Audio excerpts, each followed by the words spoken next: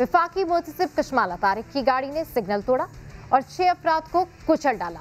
चार अफराद जहाँ भाग, दो इस वक्त शदीद जख्मी हैं एफ़ आई के मुताबिक ये चार गाड़ियों का काफिला था। एक गाड़ी जिसमें ड्राइवर के साथ कशमाला के बेटे अजलान, जबकि पिछली सीट पर उनके शोहर बैठे थे। एनी शाहिदीन के मुताबिक गाड़ी एक्सीडेंट के बाद भी नहीं रुकी और अमूमन रुकती भी नहीं है। फरार होने की कोशिश की लेकिन थोड़ा आगे जाकर एयर बैग खुल गए और गाड़ी ऑटो लॉक हो गई, जिसके बाद कश्माला के बेटे और शौहर गाड़ी से नीचे उतर आए। इस दौरान एनी शाहिदीन ने एक खातून को एक गाड़ी से निकलकर दूसरी गाड़ी में जाकर बैठते देखा, जो गालिबन कशमाइला ही थी, क्योंकि उन्होंने खुद तस्दीक की है कि वो भी इस वक्त गाड़ी में मौजूद थी। पीछे से आने वाले अफराद ने भी पुलिस को बताया है कि ये गाड़ी खासे फासले से तेज़ी से जिग करती हुई आ रही थी और पीछे भी बहुत से लोग हादसे से बाल बाल बचे, यानी पहले से ही फास्ट ड्राइविंग का सिलसिला जारी था। पिम्स शिफा इंटरनेशनल, कायद आज़म इंटरनेशनल, तीन बड़े हॉस्पिटल्स करीब ही थे। एनी शाहिदीन के मुताबिक कशमाला के काफिले की चार गाड़ियाँ थीं, मगर किसी एक जख्मी को भी उस गाड़ी में अस्पताल नहीं ले जाया गया। वाक़े के बाद से मुकदमे में नामजद कशमाला का बेटा गायब है। पुलिस गिरफ्तारी के लिए छापे मार रही है। कशमाला के शोहर जो हादसे के वक्त साथ थे, तबीयत खराब होने की वजह से अस्पताल में एडमिट हो गए हैं, जहाँ पुलिस पहरा दे रही है। कशमाला तारिक ने सारे इल्ज़ाम की तरदीद करते हुए इसे किरदार कशी, हिरासानी और मीडिया ट्रायल करार दे दिया। कहती हैं, हादसा कोई प्लान करके नहीं करता। उनके मुताबिक सिर्फ़ गलती दोनों तरफ़ से हुई। हम में से कोई गाड़ी ड्राइव नहीं कर रहा था। दोनों गाड़ियाँ ड्राइवर ड्राइव कर रहे थे। पोर्ट्रे किया जा रहा है। शायद मेरा बेटा गाड़ी चला रहा था। मेरा बेटा पिछली गाड़ी में था। मेरे बेटे का नाम मेरे साथ जुड़ा हुआ है, इसलिए उसको विक्टिमाइज किया जाए। हमारे ड्राइवर की भी गलती थी और साथ जो गाड़ी आ रही थी, उसकी भी गलती थी। अगर आप देखें, इशारा क्योंकि बंद हो रहा था, इसने भी ब्रेक नहीं मारी और वो भी बंद इशारे में आगे आ रहे थे। दोनों तरफ़ से गलती थी। जा रही बंदा मार दिया आपने पीछे इधर आ जाओ। मैं चला रहा हूँ गाड़ी हेलो तो गाड़ी आपकी है ना कौन? है बंदा मार जो एनी शायद थे पूछे उसमें कि दोनों गाड़ियों की गलती थी कि नहीं थी। शायद मैं इस ओहदे पे हूँ, शायद कुछ लोगों को मेरी शक्ल नहीं पसंद, या मैं कुछ इंपॉर्टेंट केसेस मेरे पास लगे हुए हैं, उनमें सिफारिश नहीं सुन रही। उसके ऊपर मुझे पिछले आपने 10-12 दिन से देखा है कि मुझे विक्टिमाइज किया जा रहा है। प्राइवेट किस्म की हमारी मेरी फेसबुक से, इधर से तस्वीरें ले लेके चलाई जाती हैं। सुने प्राइम मिनिस्टर साहब ने नोटिस लिया है तो मैं उनसे रिक्वेस्ट करूँगी कि प्लीज़ वो C C T V footages release कराए। अगर हम तीनों में से कोई गाड़ी चला रहा था तो हम जिम्मेदार ठहरते हैं ना। तो कशमाला तारिक ने तो इस वाक़े को अपने ओहदे और मीडिया ट्रायल से जोड़ दिया है। एनी हाउ वाक़े में जाँ भाग होने वाले होने वाले चारों नौजवान एएनएफ का टेस्ट देने मानसहरा से इस्लामाबाद आए थे और इस वक्त हमारे साथ मौजूद हैं आदिल के भाई आतिफ। उनसे मज़ीद बात करेंगे। आतिफ, जो कुछ भी हुआ, उसके लिए इंतहाई अफसोसनाक वाक़ है। ओवरऑल आपसे जानना चाहेंगे कि आपके भाई एनएफ का टेस्ट देने आए थे यहाँ पर। जी, मैडम, ये वो इधर टेस्ट देने के लिए ही आए हुए थे। रात को आए, उन्होंने हमें फ़ोन किया है कि हम असलमबाद की तरफ़ आ रहे हैं। हमने उनको बोला है, आप आ जाए। तो आए हैं, उधर इनके जो ड्राइवर थे ना, वो बिल्कुल नशे की तोत में थे। ठीक है?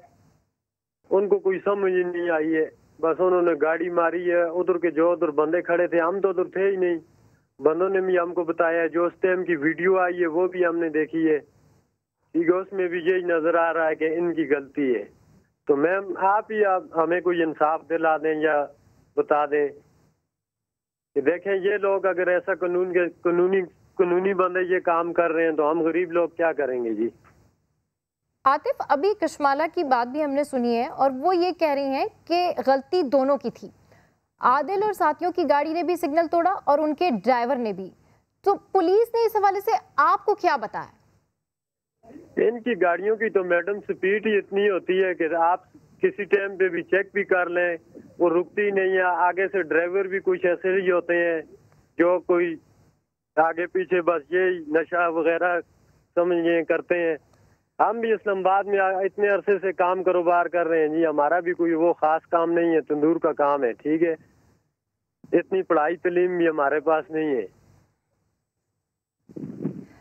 अच्छा ये बताइएगा कि आदिल और उनके साथ जो लोग कार में थे वो दोस्त थे रिश्तेदार थे ये सब फ्रेंड्स आए थे एनएफ का टेस्ट देने के लिए या फिर ये रिलेटिव के पास थे? कि- मैडम ये चार पाँच दिन पहले आए थे ये टेस्ट देकर वापस आए इनकी दौड़ हुई थी। नरकाटस में ये इन्होंने भर्ती होना था। ये टेस्ट देकर आए थे हमारे पास उधर रुके हैं ये इनको फिर दो तारीख का उन्होंने टाइम दिया था कि तुम दो तारीख इधर फिर पहुँच जाना तो ये रात को बस उधर हमारे पास ही बस पहुँचने वाले ही थे तो इनके साथ ये बस हादसा हो गया। ठीक है तो अच्छा एक्चुअल पुलिस के हवाले से पुलिस ने आपको क्या बताया कि ओवरऑल जो ये हादसा पेश आया है, जो ये वाकया पेश आया है, इसमें पुलिस ने भी यही बताया कि दोनों की गलती है या पुलिस ने ये बताया कि नहीं, कश्माला तारिक की गाड़ी बहुत फास्ट आ रही थी, वो पहले से ही जिगजैग करते हुए आ रहे थे? बस मैडम, उस टाइम इतना ही, एकदम ही एकदम ही बस हम लोगों को पता चला है तो न कोई हम जिसका नाम आप ले रही हैं, न उसको जानते हैं, न कोई बस। है कि हुआ हो गई थी जी बस कुछ समझ नहीं आ रही थी। ठीक है? तो उधर जो लोग खड़े थे उन्होंने बताया कि गाड़ियाँ बहुत तेज आई हैं। ठीक है। अच्छा आतिफ ये आतिफ ये बताइए कि आप कोई अपील करना चाहते हैं? अपील यही है मैडम देखें अब आप खुद ही फैसला कर लें। हमें इंसाफ चाहिए। ठीक है? बिल्कुल बिल्कुल बिल्कुल। प्राइम मिनिस्टर इमरान खान ने इस पर नोटिस लिया है। आपको उम्मीद है कि आपको इंसाफ मिलेगा? जी, बिल्कुल मिलेगा जी। इमरान खान ने अगर नोटिस लिया तो ज़रूर मिलेगा, इंशाल्लाह। देखें, ये हम गरीब लोग हैं जी। अपनी रोटी रोजी, वो मेरा एक भाई था, कसम से आज आप हमारे घर आकर देखें ना कि हमारे घर की हालत क्या बनी हुई है। इतने मुश्किल हालत से हमने उसको पढ़ाया, लिखाया। ठीक है, बारह, तेरह जमातें हमने उसको पढ़ाई। ठीक है? अभी हमारा तो कोई नहीं है जी, बस इंसाफ ही हो जाए तो अच्छा बिल्कुल बिल्कुल ठीक कह रहे हैं आप। बिल्कुल, आपकी वालदेन से कोई बात हुई? उनका क्या रिएक्शन था? ओवरऑल फैमिली के हवाले से बताइए।